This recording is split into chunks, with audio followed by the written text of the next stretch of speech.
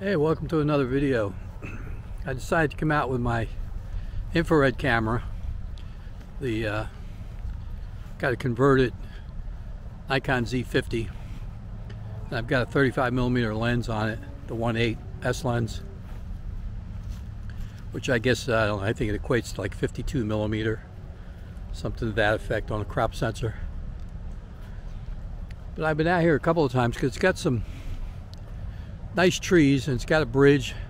If you've seen some of my other videos, you might notice the bridge. I've taken a few shots of it. There's a lot of interesting trees here. In a previous video, I mentioned how I didn't really like cloudy days for infrared. But I've kind of changed my mind on that. I can't say that I prefer it, but the cloudy days don't really bother me for doing infrared.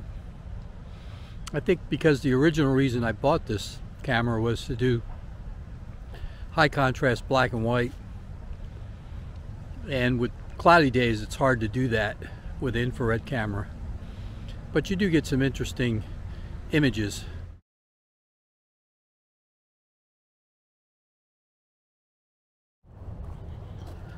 This park has a nice walking trail. And it also I think it's it's called the Heart Trail because you have a lot of places where you can stop and do different exercises. So it's a pretty popular place to walk. If anybody lives in South Florida area, Palm Beach County, it's John Prince Park outside of Lake Worth. There's images in here. You just really have to go and look for them. There's the bridge that I've photographed many times with my infrared camera you get a nice sky, it makes for a nice image. I don't know how well you can see.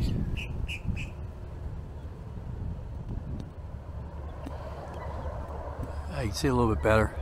A couple of pelicans sitting up in the tree.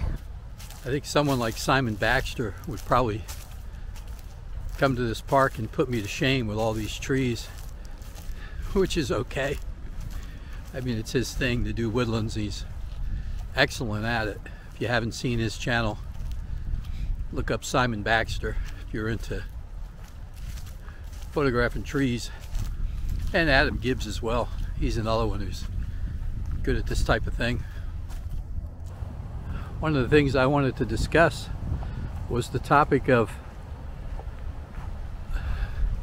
does YouTube really help or hurt photographers? Because you can get some good advice on here you can get some bad advice.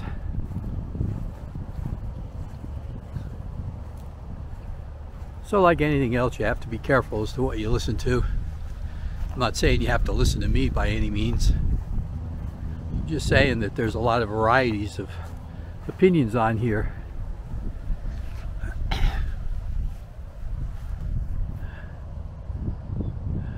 Yeah Simon would go crazy with this tree here in front of me.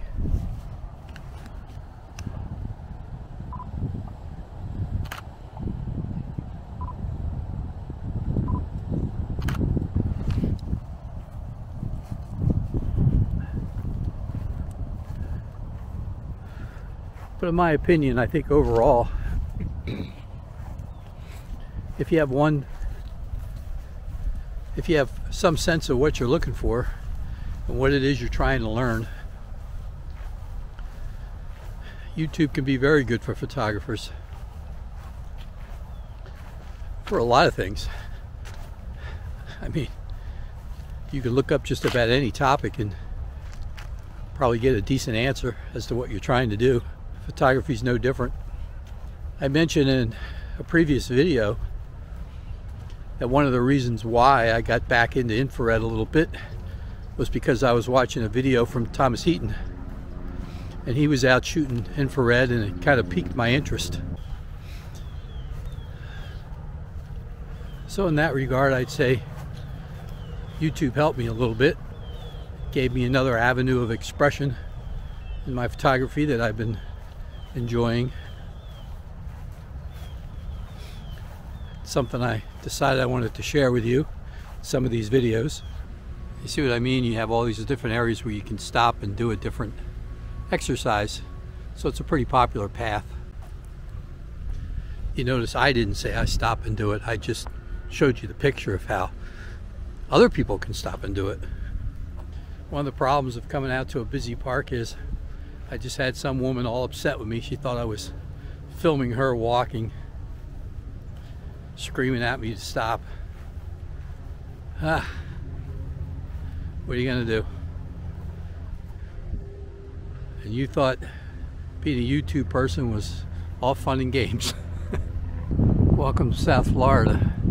In the half hour I've been out here, went from chilly and cloudy to all of a sudden the sky just opened up. It's nice and blue all of a sudden. A little bit of cloud, but hey,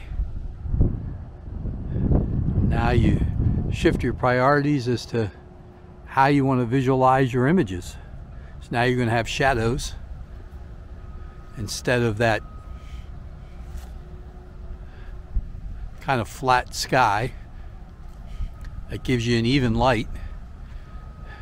Now you have a totally different type of light. So you have to adjust how you want to photograph. I think that's one thing that helps you become a better photographer. And that is, you know, you always hear about athletes, golfers in particular, where they talk about visualizing their shot before they take it. I think photographers can do the same thing. I know a lot of times when I go out and photograph, because I do a lot of black and white, even if the screen is color, I see it in black and white while I'm taking the image. In my mind, I'm visualizing black and white. I'm not as good as visualizing in infrared yet, especially with these trees. But uh, I think it's an exercise that's that's good for you to try and that is to visualize what it is you want the end product to be. After you process it, what is it you want it to look like? And you might set your exposure differently because of that. Well, I hope you enjoyed this little walk through the woods.